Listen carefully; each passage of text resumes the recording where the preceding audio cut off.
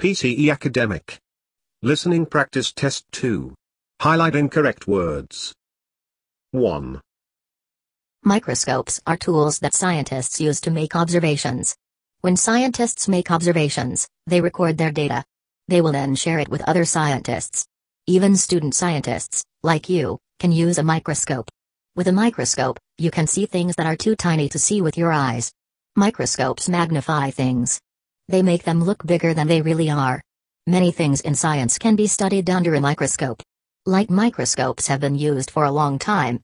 Many different inventors worked on making the microscope. Robert Hooke and Anton van Leeuwenhoek were two of its early inventors in the 1500s. Today's light microscopes work better than early ones. Some can magnify things 1000 times. A light microscope uses two glass lenses. The lenses are inside a short tube. A light bulb shines under the object you are looking at. It helps you see the object clearly.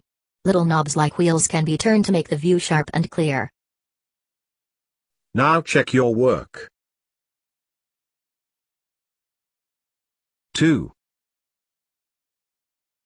The mola, also called the giant ocean sunfish, is gigantic. In fact, it's the largest of all bony fish.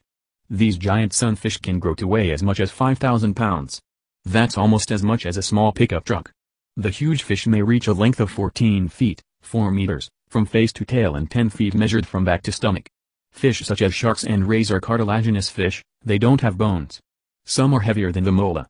But among fish with bones, called bony fish, none is larger than the mola. Now check your work.